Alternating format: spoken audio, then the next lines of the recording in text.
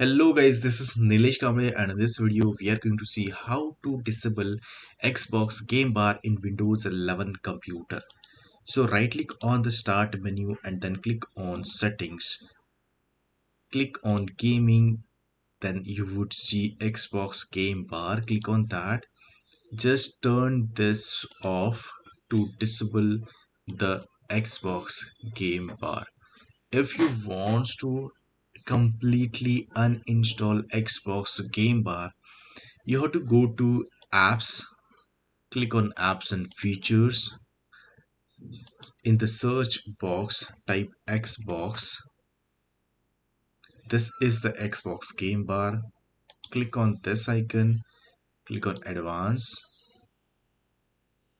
You would not find any uninstallation method with a GUI. So we have to use PowerShell method. Right click on the start, then click on Windows Terminal Admin. Open this with admin privileges only. Then once you open this, you have to use this particular command git to uninstall the package. So this is the command and you have to use remove hyphen appx package and once you hit enter the package would be uninstalled. Once the package is uninstalled your Xbox game bar is removed from your computer. So if you now check in the apps and features you won't find Xbox game bar in this list. But what if you want to again install it on your computer. Then you have to simply click on Microsoft Store.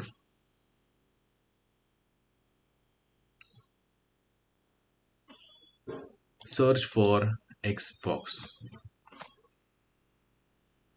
You would see Xbox game bar. Click here. Then click on gate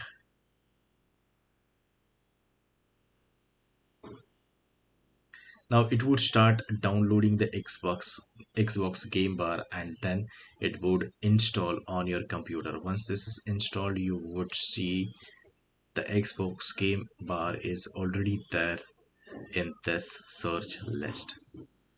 So i hope this video helps you and you would be able to disable or uninstall xbox game bar on your windows 11 computer. Thanks and Please hit the like button, please hit the subscribe and press the bell icon for for future videos. Thanks.